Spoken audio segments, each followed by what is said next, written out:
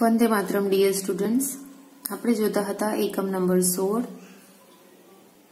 જીવન અને મૃત્યુ. તેના અંદર એક એક્સ્ટ્રા એક્ટિવિટી આપેલ છે, શોધખોળ સમય. જેના અંદર આપણા ધર્મો વિશે આપણે આપેલા પ્રશ્નોની અંદર પાંચેક પ્રશ્નો જોઈ ગયા હતા. જેમાં આપણે જોયું હતું કે હિન્દુ ધર્મના લોકો પ્રાર્થના કરવા ક્યાં જાય છે, તો તેમાં આવશે મંદિર. મુસ્લિમ ધર્મના લોકો પ્રાર્થના કરવા ક્યાં જાય છે તો મસ્જિદમાં. શીખ ધર્મના લોકો પ્રાર્થના કરવા ક્યાં જાય છે? તો ગુરુદ્વારામાં.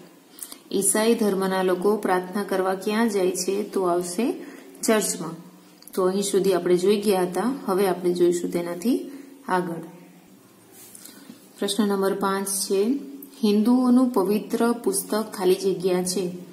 તો હિન્દુઓનું પવિત્ર પુસ્તક ગુરુ ગ્રંથ સાહેબ, કુરાન કે શ્રીમદ ભગવદ્ ગીતા?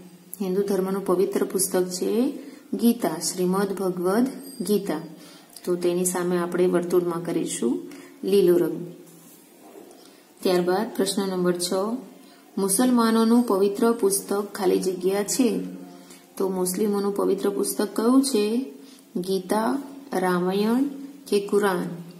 શું છે મુસ્લિમોનું પવિત્ર પુસ્તક? કુરાન. બરાબર? તો કુરાનના સામેના આપેલા વર્તુળમાં આપણે કરીશું લીલો રંગ પ્રશ્ન નંબર સાત. શીખોનું પવિત્ર પુસ્તક કયું છે? પુરાણ, ગીતા કે ગુરુ ગ્રંથ સાહેબ? તો શીખોનું પવિત્ર પુસ્તક કયું આવશે?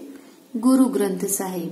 બરાબર? તો અહીં કરીશું આપણે લીલો રંગ ત્યારબાદ પ્રશ્ન નંબર આઠ. ઈસાઈઓનું પવિત્ર પુસ્તક ખાલી જગ્યા છે? તો ઈસાઈઓનું પવિત્ર પુસ્તક કયું છે? બાઇબલ, બરાબર? તો બાઇબલની સામેના વર્તુળમાં આપણે કરીશું લીલો રંગ.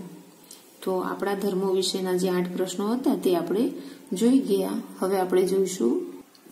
બીજી એક એક્સ્ટ્રા એક્ટિવિટીની અંદર શોધખોળ સમયમાં આપેલું છે પ્રાર્થના અને સ્થળ. પેલા પ્રશ્નમાં આપણે જોઈ ગયા હતા પ્રથમ શોધખોળ સમયની અંદર આપણા ધર્મો વિશે. હવે જ્યાં સેકન્ડ જે એક્સરસાઇઝ આપેલી છે તેના અંદર વિવિધ ધર્મોના પ્રાર્થના સ્થળ વિશેની માહિતી છે. તેમાં છે, નીચે પ્રાર્થનાના સ્થળોના ચિત્રો આપ્યા છે. તેના નામ આપો અને તે કયા ધર્મના દેવસ્થાનો છે તે જણાવો. એટલે કે અહીં પ્રાર્થના સ્થળ એટલે કે વિવિધ ધર્મના પ્રાર્થનાના સ્થળ આપેલા છે. તો તે પ્રાર્થનાના સ્થળનું નામ દર્શાવવાનું છે અને તે કયા ધર્મનું છે તે દર્શાવવાનો છે. અને આગળના જે શોધખોળ સમયની એક્સરસાઇઝ હતી, તેના અંદર આપણે તેના માત્ર નામ જોઈ ગયા હતા. વિવિધ ધર્મના લોકો પ્રાર્થના કરવા ક્યાં જાય છે, તો એ સ્થળોના નામ જોઈ ગયા હતા કે હિન્દુ ધર્મના જાય છે મંદિરમાં, મુસ્લિમ ધર્મના જાય છે મસ્જિદમાં, શીખ ધર્મના જાય છે ગુરુદ્વારામાં. બરાબર? આવા વિવિધ નામ જોઈ ગયા હતા. હવે અહીંયા વિવિધ ધર્મના લોકોના દેવસ્થાનો એટલે પ્રાર્થના કરવાની જે જગ્યા છે, તેના ચિત્ર આપવામાં આવેલા છે. બરાબર?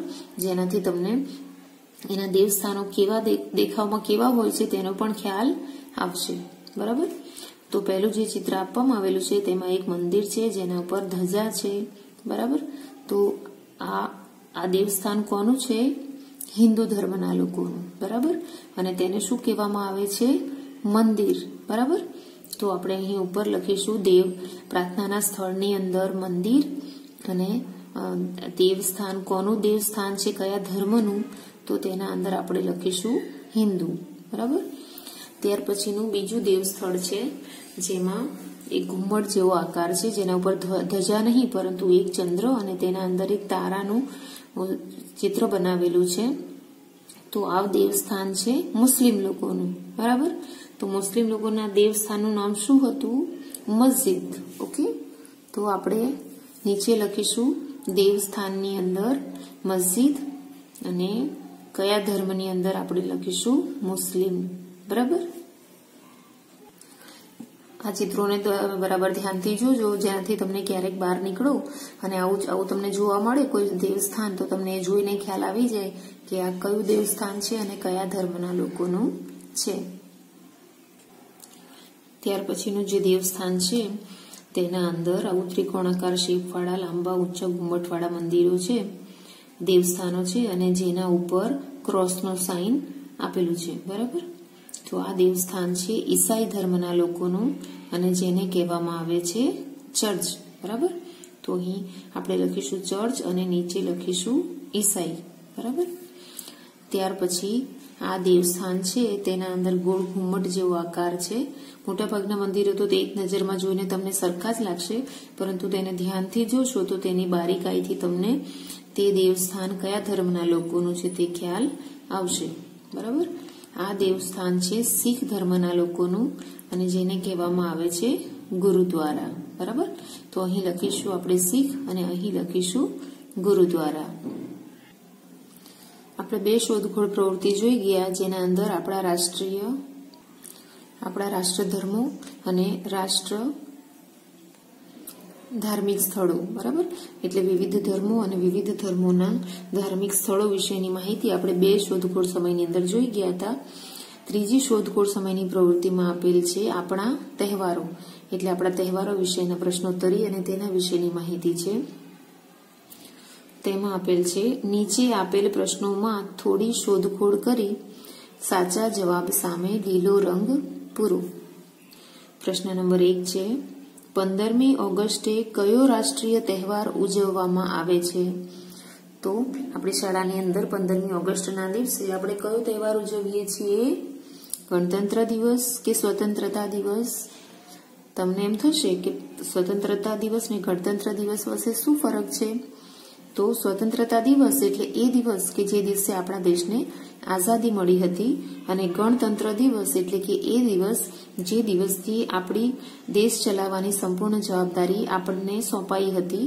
મતલબ આપણા દેશ ચલાવવાની કામગીરી આપણે કરવાની શરૂ કરી હતી. લોકો દ્વારા દેશ ચલાવવાની શરૂઆત થઈ હતી. તો સ્વતંત્રતા દિવસ કયો દિવસ છે? પંદરમી ઓગસ્ટ. બરાબર? તો પંદરમી ઓગસ્ટ આપણે રાષ્ટ્રીય સ્વતંત્રતા દિવસનો રાષ્ટ્રીય તહેવાર ઉજવીએ છીએ. તો અહીં આવશે ઉત્તર સ્વતંત્રતા દિવસ. તો એની સામેના વર્તુળમાં કરીશું આપણે લીલો રંગ. બીજો પ્રશ્ન છે, છવ્વીસમી જાન્યુઆરીએ કયો રાષ્ટ્રીય તહેવાર ઉજવવામાં આવે છે? તો ઉપર જ વાત કરી ગયા. તેમ ગણતંત્ર દિવસ. તો ગણતંત્ર દિવસ કયો છે? છવ્વીસમી જાન્યુઆરી. બરાબર? તો છવ્વીસમી જાન્યુઆરીએ ગણતંત્ર દિવસ ઉજવવામાં આવે છે. તો આ દિવસની સામેના વર્તુળમાં કરીશું આપણે લીલો રંગ ત્યારબાદ પ્રશ્ન નંબર ત્રણ. ગાંધી જયંતિ ક્યારે મનાવવામાં આવે છે? ગાંધી જયંતિ એટલે ગાંધી બાપુનો જન્મદિવસ. તો ગાંધી બાપુનો જન્મદિવસ વાળી ગાંધી જયંતિ આપણે ક્યારે મનાવીએ છીએ? બીજી જાન્યુઆરીએ કે બીજી ઓક્ટોબરે? ક્યારે મનાવીએ છીએ? બીજી ઓક્ટોબરે ઓકે? તો બીજી ઓક્ટોબરના સામેના વર્તુળમાં કરીશું લીલો રંગ.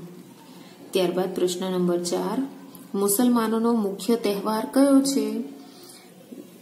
તો મુસલમાનોનો મુખ્ય તહેવાર ઈસ્ટર છે કે ઈદ ઉલ ફિતર છે? જવાબ આવશે ઈદ ઉલ ફિતર. તો એની સામેના વર્તુળમાં કરીશું લીલો રંગ. ત્યારબાદ પ્રશ્ન નંબર પાંચ રામનવમી કોનો જન્મદિવસ છે?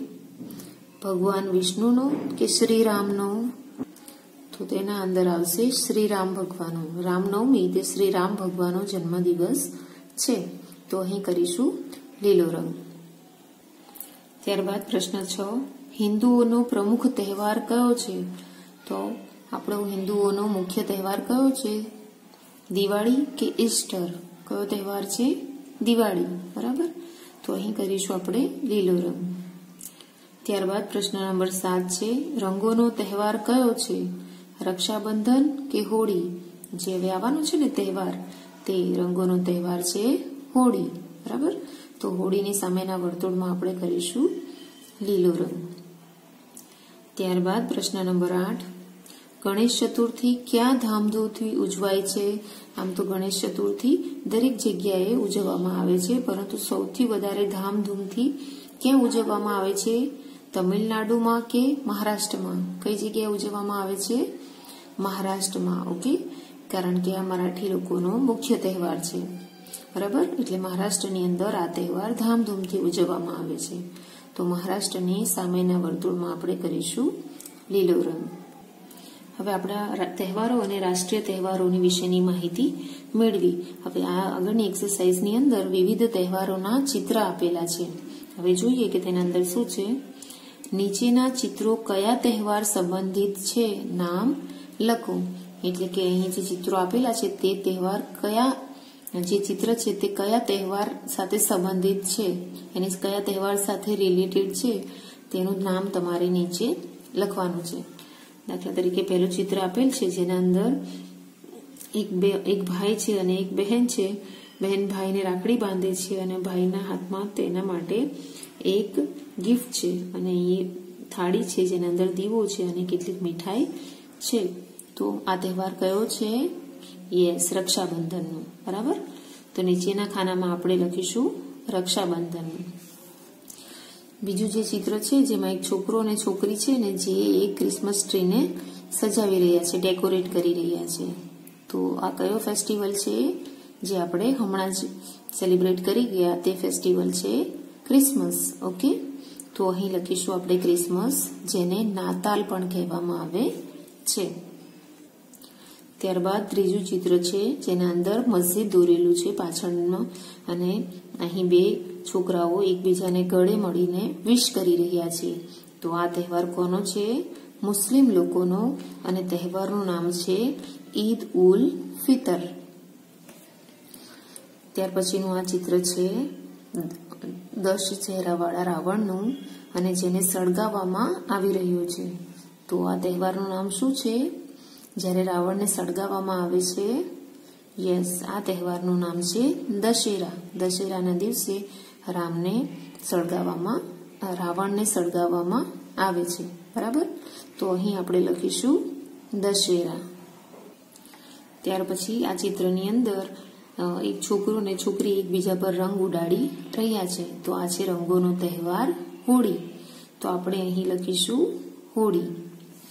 અને ત્યાર પછી આ એક ખેતરનું ચિત્ર છે, જેના અંદર એક કિસાન પતિ અને પત્ની ઢોલ નગારા વગાડીને નૃત્ય કરી રહ્યા છે, નાચી રહ્યા છે.